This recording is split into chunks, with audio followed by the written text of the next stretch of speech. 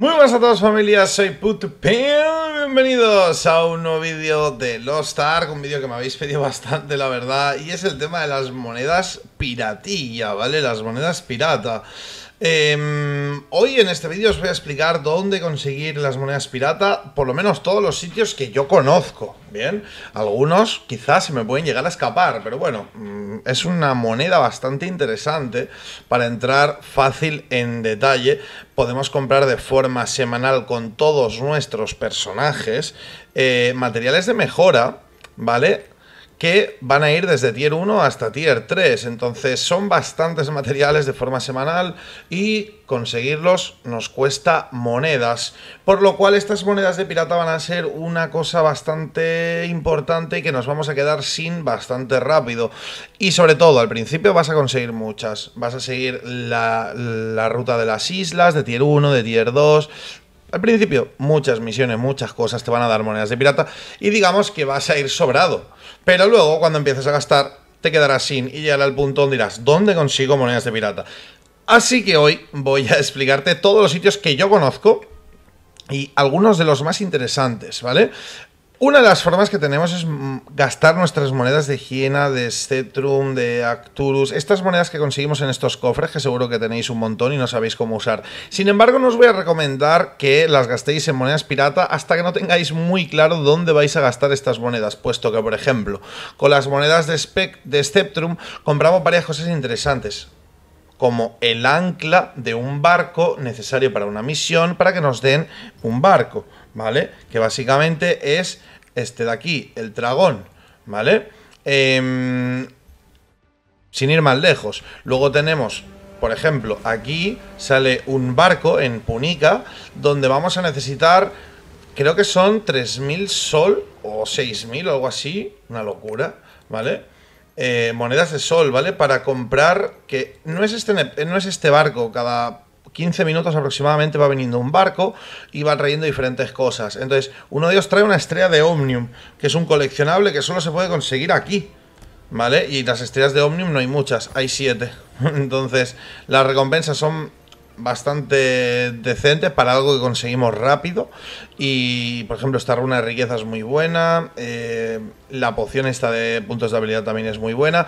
Entonces, las vais a gastar. No os recomiendo realmente que gastéis estas monedas tontamente o que las intercambiéis por monedas de pirata porque diría que estas monedas cuestan más de conseguir que las de pirata, ¿vale? Pero que sepáis que si ya tenéis todo lo interesante y sabéis que tenéis todo lo interesante comprado, ¿no? Pues podéis llegar a cambiar el sobrante. Por ejemplo, yo tengo 129 de hiena que en principio, en principio no voy a gastar. Entonces puedo llegar a decir, oye, mira, intercambio, ¿sabes? Y me dan mil y pico de pirata. Bien, esta es una de las opciones. Las otras opciones, por supuesto, va a ser hacer misiones por todo el mundo de diferentes tipos, misiones en islas amarillas, misiones amarillas, o sea, no amarillas las islas, sino las misiones amarillas, eh, lilas, en diferentes islas, en algunas en continentes, etcétera, etcétera, ¿vale? Todo eso nos va a ir dando. Voy a hacer una mención especial a las misiones de la isla de los eh, fugitivos, ¿vale? Donde liberas unos prisioneros que te cuestan monedas de pirata, pero cuando los liberas te dan muchas veces monedas de pirata más de las que has gastado. Por ejemplo, ayer liberé uno para hacer la misión diaria y me costó 600 y me dio como mil y pico. Y otro de 900 que me dio 2000 monedas de pirata, ¿no? Entonces puedes ir ahí cada día y liberar, creo que son 5 prisioneros al día Juraría que son 5 prisiones al día, por lo cual vais a poder optar a eso. No sé si una vez ya te dan suficientes monedas de pirata, puede ser que no te den más, pero probarlo si queréis, ¿vale? Sobre todo si no habéis... Eh, hecho eso varias veces, yo lo hice varias veces y aún así me dio. Entonces, eh, no sé si es que quizá no había comprado los de la diferente cantidad, porque hay de cantidad 300, de cantidad 600, de cantidad 900 y creo que hay uno de 1200 también, ¿no? Entonces, pues quizá cada cantidad tiene la posibilidad de darte monedas pirata. Bueno, esta es una, esta es una de las menciones especiales y la otra, un vídeo que os voy a dejar abajo en la descripción, que es el Treasure Map 306, mm, no sé qué, Error mm, No sé cuántos. Es un mapa muy raro, eh, ¿vale? El tip 3 sobre map, no sé qué.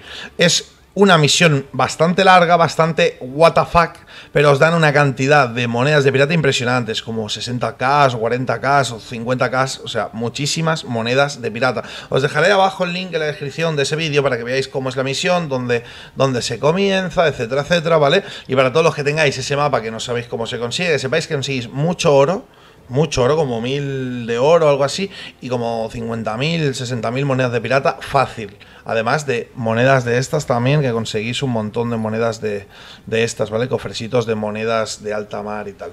Entonces, estas son menciones especiales al tema de, la, de las de lo que vienen siendo las monedas de pirata, ¿vale? Sin embargo, muchas otras misiones a medida que vayáis haciendo la ruta de las islas. Si no la conocéis, os recomiendo que hagáis la ruta de las islas, ¿vale? En el vídeo de qué hacer a partir de nivel 50 lo explico cómo es la ruta de las islas y dónde podéis verlo. Y en general limpiar las islas de misiones. Ahora bien, no solo limpiar las islas de misiones y etcétera, etcétera, todo lo relacionado en este caso con misiones que te encuentras y demás, sino también las islas que van apareciendo de formas eh, temporales o que tienen eventos temporales. Fijaros que me voy a encontrar por aquí alguna isla que me va a dar monedas de pirata. Bueno, esto no es una, no es una isla, en este caso, Puerta de Armonía, es un evento cooperativo que haces por los mares, ¿de acuerdo? Cuanto más y level más te van a dar y te van a dar monedas de más alto rango como las de tier 1 Hiena, las de tier 2, bueno, tier 1 avanzado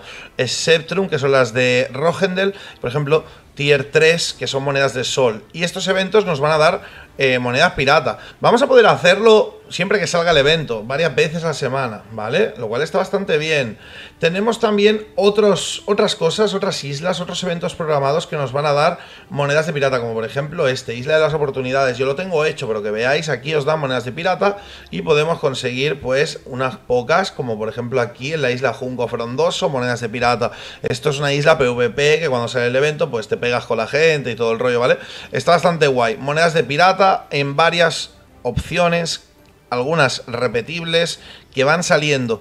Tener esto a mano, porque es una de las mejores formas de sacar monedas de pirata. No es una de las únicas formas de sacar monedas de pirata. Tenemos también aquí en AlJ las misiones diarias. Y las, bueno, putupao, por aquí no me dan monedas de pirata. No me estás contando, no sé qué.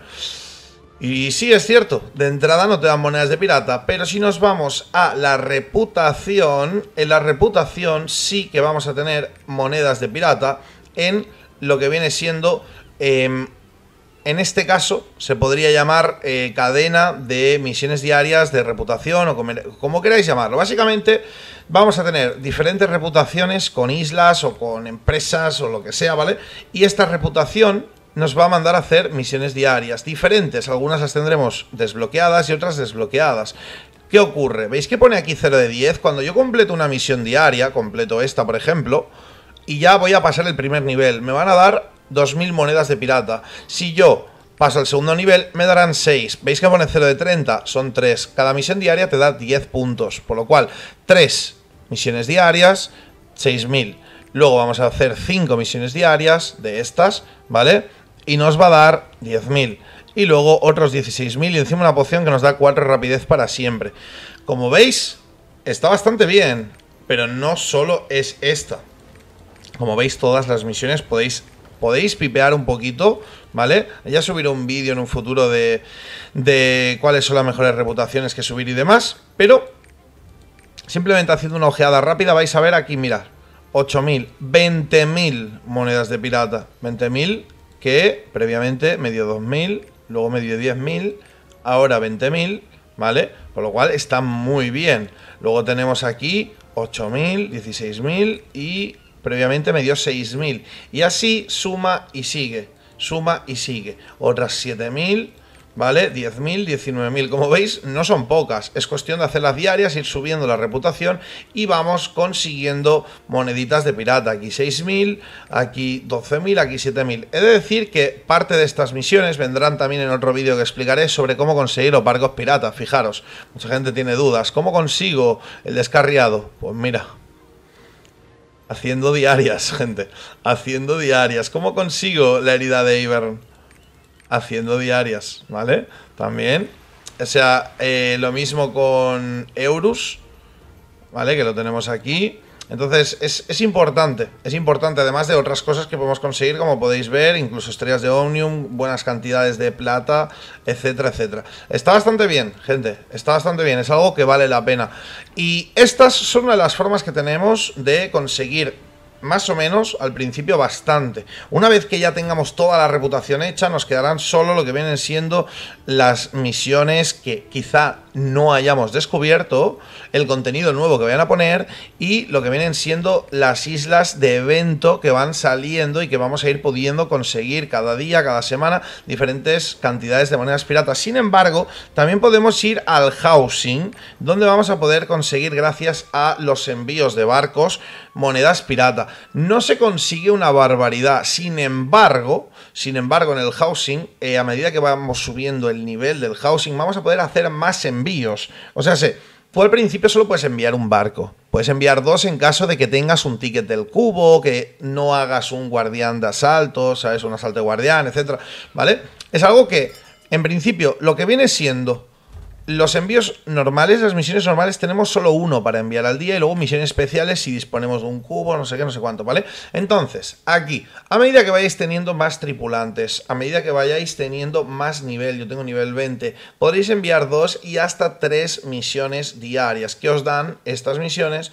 Pues os dan monedas pirata. Todas y cada una de ellas os da monedas pirata. Y os darán también sellos. Los sellos se pueden intercambiar en los mercaderes, ahora veremos qué es lo que nos dan. Y estas monedas pirata las podemos conseguir cada día. Cada día enviar barquitos. De verdad, cada día, pum, barquito, barquito, barquitos. Intentar que tengáis un porcentaje bueno de eh, adaptación, porque el índice de éxito y de conseguir mayores recompensas o más cantidad de recompensas aumenta con una buena tripulación cada vez vas a poder poner más integrantes en la tripulación a medida que subes el ítem eh, bueno, el item level, no, perdón, el nivel del housing a medida que tienes mejores tripulantes. Esto funciona de una forma similar a muchos otros juegos, donde algunos tripulantes nos van a dar bonificaciones extra que nos van a ir bien para determinadas misiones, ciertas resistencias, en este caso, por ejemplo, al viento o aquí a las eh, aguas eh, de lechos de algas, pues en este caso vamos a tener bonificaciones y dichas bonificaciones van a hacer que tengamos mayor porcentaje y si conseguimos una mejor nota, ¿vale? Como tier S, por ejemplo, en el envío, vamos a conseguir más monedas pirata, etcétera, etcétera. Y luego, pues tenemos aquí nuestro mercader que va cambiando, va rotando, ¿vale? El mercader se va en 12 minutos, llegará otro, y vamos a poder comprar con estas... Em, con estos sellos, ya os digo, son diferentes, nos van dando sellos diferentes, fijaros, y también los corazones de bestia, por ejemplo, vamos a conseguir y vamos a poder cambiarlo por sellos, etcétera. Podemos comprar planos de, barco, planos de barco que son para mejorar los barcos, que no para craftearlos. Podemos comprar cartas, de vez en cuando van saliendo, pum, monedas de Yo voy a comprar las monedas estas, la verdad, que sale bastante, bastante decente. Y podemos también poner formulario de, eh, en este caso, mm, tripulantes ¿vale? Que como veis nos van bastante bien, lo único que algunos pues son, digamos, eh, exclusivos, ¿de acuerdo? En este caso, pues tripulación, Dragón rango 1. Necesitarías el barco Dragón, el Stormbreacher, ¿vale? El viento blanco. Hay que tener cuidado. Ya subiré una guía de barcos o varias guías de barcos de cómo conseguir cada uno de los barcos, una guía en general de todos los barcos y sus tripulantes, porque esto también es un mundo, ¿eh? Pero básicamente aquí podemos conseguir cosas. Venta pública, esto es si la gente viene a tu housing a comprar, ¿vale? No os rayéis con esto. Entonces, eh, no he llegado a ver aquí monedas pirata. Quizá en algún momento puedes llegar a ver monedas pirata, pero yo, por lo menos, por mi parte, no las he visto, ¿vale? Y luego, pero no menos importante, en el libro este desafío de bienvenida vamos a poder conseguir algunas monedas piratas. Aquí creo que no, porque esto es la parte de mejorar equipo y demás, pero probablemente en evento programado sí que se puede. Aquí lo tenéis, por ejemplo. Misión cooperativa navegación, lo haces una vez. Con que la hagas una vez, pum, 5.000 monedas de pirata. Vale la pena. Navegación, puerta armonía, la haces una vez, 5.000 Mm, monedas de pirata, ¿vale? Ya veis, hay cositas, hay cositas y esas cositas nos pueden dar eh, monedas de pirata. Aquí esto no nos da. Luego tengo esto que no lo tengo descubierto, así que no sabría deciros si tengo eso o no. Luego aquí tenemos algunos cofres de monedas de navegación, ¿vale? Y no sé, puede ser que tengamos también más monedas de pirata que consigamos por aquí, ¿eh? Lo que pasa es que no me acuerdo de memoria de todo. pero desde luego... Mira, 5.000 monedas de pirata más por la historia de la isla fantasma, por una, un panda llamada Pupa, pues la, la isla panda, monedas de pirata, 15.000 monedas de pirata por la chica de la isla de la ola blanca, más monedas, en este caso 10 cofres son 5.000 monedas, la, misteriosa isla Toto Plata, fijaros, una locura, ¿eh? 5.000 monedas de, de, sol, ¿no? Es bastante.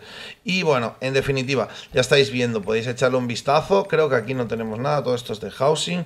Pero bueno, hay un montonazo de cosas que vamos a desbloquear aquí, que también están muy jugosas. Pero ya habéis visto, por aquí también conseguimos monedas de pirata, que no está mal. Luego, eh, en la tienda no hay opción de, de, conseguir monedas de pirata, ya lo he buscado y por desgracia no se pueden conseguir, ¿vale? Pero sí que es cierto que con todo lo que os he dicho, si había algo que no conocíais, la verdad, pues oye, ahí está.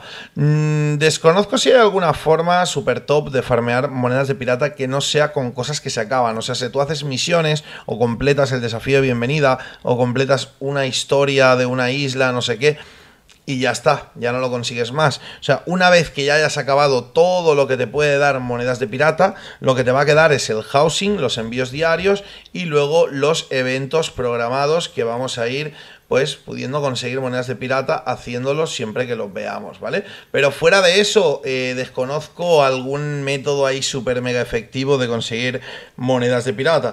Si conocéis alguno y queréis compartirlo en los comentarios, pues la verdad que sería bueno no solo para mí, sino para todos los que lean los comentarios. Al final, pues... Eh, compartir conocimiento está perfecto si queréis compartirlo, ¿vale? Así que nada, muchas gracias por ver este vídeo, like si os ha gustado, suscribiros para más vídeos como este y nos vemos en el siguiente. Sed felices. Peace.